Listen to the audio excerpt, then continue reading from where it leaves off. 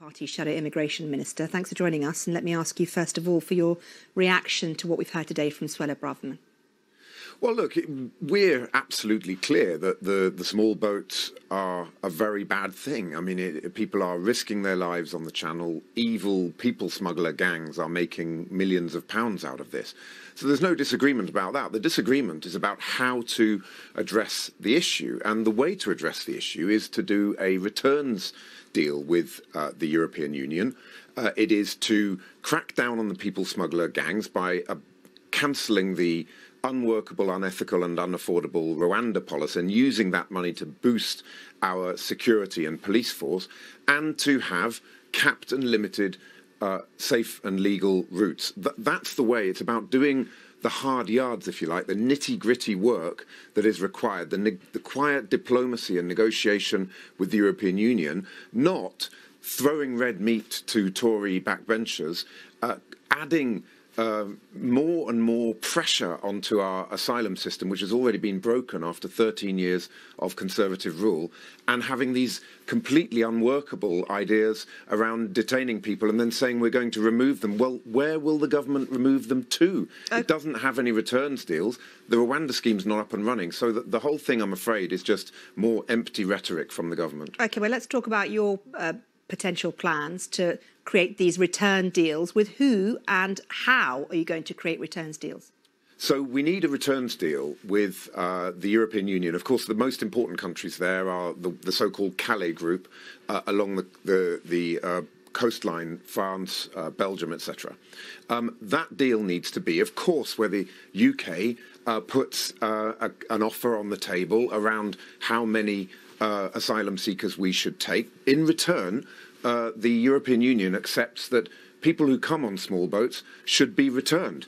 Uh, and of course, that's the way to break the people smugglers because nobody's going to pay five or ten thousand pounds to a people smuggler uh, when they know that uh, when they arrive in the UK, they'll be returned to continental Europe. We then need upstream processing, working with our European partners and allies, getting a strategy across Europe to address this issue so that we take our fair share, other European Union countries do the same.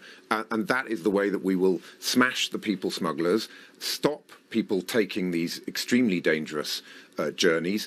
Uh, and of course, added to that, we need that clear line on uh, safe and legal routes and uh, clear investment in the intelligence and security services so that they can go after the people smugglers and stop their trade in human misery. Isn't it the case that the Tory party, the Conservative Party, have really laid down the gauntlet here when it comes to dealing with small boats and the issue of illegal migration? They don't believe that this is a priority for Labour moving forward to the next election. Is that a problem for Labour, do you think? This is perceived to not be a big priority for Keir Starmer. Well, the first duty of, of, any government is the protection of our borders and of the public realm.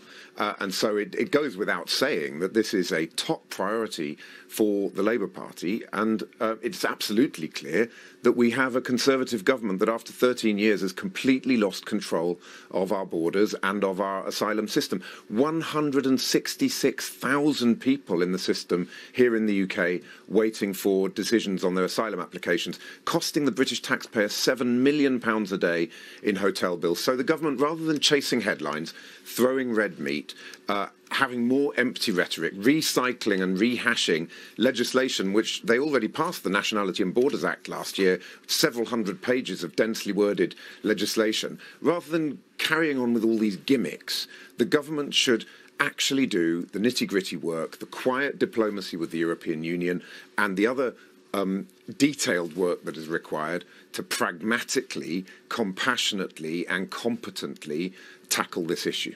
Stephen Kinnock, thank you.